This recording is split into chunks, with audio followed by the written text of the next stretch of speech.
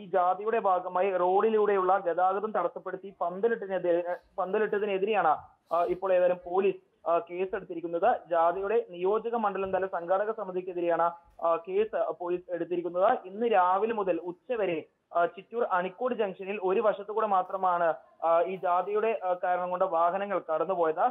ഈ പന്തൽ ജാതിക്കായി ചുറ്റൂരിൽ സ്ഥാപിച്ചിരുന്ന ഈ പന്തൽ റോഡിന്റെ ഒരു വശത്തേക്ക് കയറ്റിയിട്ടതോടെയാണ് റോഡിലൂടെ ചെറു വാഹനങ്ങൾക്ക് പോലും കടന്നു പോകാൻ കഴിയാത്ത സ്ഥിതിയായത്. ഇതോടെ പോലീസ് സ്വാഭാവികം സ്വാഭാവികമായിട്ടൊരു കേസാണ് ഇപ്പോൾ സംഘാടക സമിതിക്കെതിരെ രജിസ്റ്റർ ചെയ്തിരിക്കുന്നത്. ഏതായാലും ഇത്തരത്തിൽ ഒരു സ്ഥിതി ഉണ്ടായതിനെ തുടർന്ന് തന്നെ പോലീസ് ബാരിക്കേഡ് വെച്ച് റോഡിലൂടെയുള്ള ഗതാഗതം വഴിതിരിച്ചു വിടുകയായിരുന്നു ചിറ്റൂർ അണിക്കോട് വെച്ചായിരുന്നു സി പി എം സംസ്ഥാന സെക്രട്ടറി ആയിട്ടുള്ള എം വി ഗോവിന്ദൻ നയിക്കുന്ന ജനകീയ പ്രതിരോധ ജാഥയ്ക്കായി പന്തലിട്ടിരുന്നത്. ഈ പന്തൽ മൂലം ഗതാഗതം സ്തംഭിച്ചതിനെ തുടർന്നാണ് ഇപ്പോൾ പാലക്കാട് ചിറ്റൂർ പോലീസ് ഈ ജാഥയുടെ സംഘാടക സമിതിക്കെതിരെ കേസ് രജിസ്റ്റർ ചെയ്തിരിക്കുന്നത്.